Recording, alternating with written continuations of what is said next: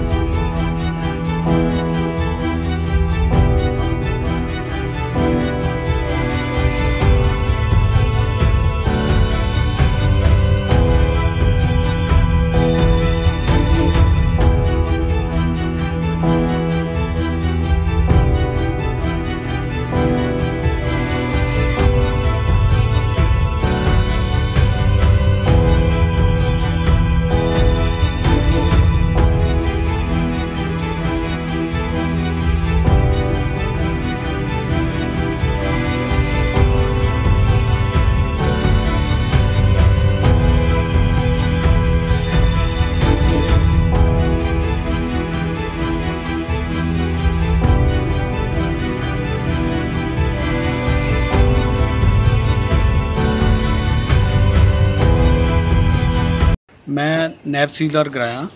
ਹਾਂਜੀ ਸਰ। ਮੈਂ ਨੈਬ ਅੱਜ ਉੱਚ ਅਧਿਕਾਰੀਆਂ ਦੀ ਹਦਾਇਤ ਮੁਤਾਬਕ ਗਰਾਇਆਂ ਦੀ ਦਾਣਾ ਮੰਡੀ ਚੈੱਕ ਕੀਤੀ ਗਈ। ਚੈਕਿੰਗ ਦੌਰਾਨ ਵੱਖ-ਵੱਖ ਆੜਤੀਆਂ ਦੇ ਕੰਡੇ ਚੈੱਕ ਕੀਤੇ ਗਏ। ਨਾਪਤੋਲ ਦੀ ਰਿਪੋਰਟ ਜਿਹੜੀ ਆ ਉੱਚ ਅਧਿਕਾਰੀਆਂ ਨੂੰ ਭੇਜ ਦਿੱਤੀ ਜਾਊਗੀ। ਮੌਕੇ ਤੇ ਜਿਹੜੀ ਲੇਬਰ ਸੀ ਉਹਨੂੰ ਸੋਸ਼ਲ ਡਿਸਟੈਂਸ ਬਣਾਈ ਰੱਖਣ ਦੀ ਹਦਾਇਤ ਕੀਤੀ ਗਈ ਤੇ ਮਾਸਕ ਪਾਉਣ ਦੀ ਹਦਾਇਤ ਕੀਤੀ ਗਈ। ਉੱਥੇ ਜ਼ਿਮੀਂਦਾਰਾਂ ਨੂੰ ਭਰਾਵਾਂ ਨੂੰ ਵੀ ਇਹ ਮਾਸਕ ਪਾਉਣ ਦੀ ਤੇ ਸੋਸ਼ਲ ਡਿਸਟੈਂਸ ਬਣਾਉਣ ਦੀ ਹਦਾਇਤ ਕੀਤੀ ਗਈ। Thank you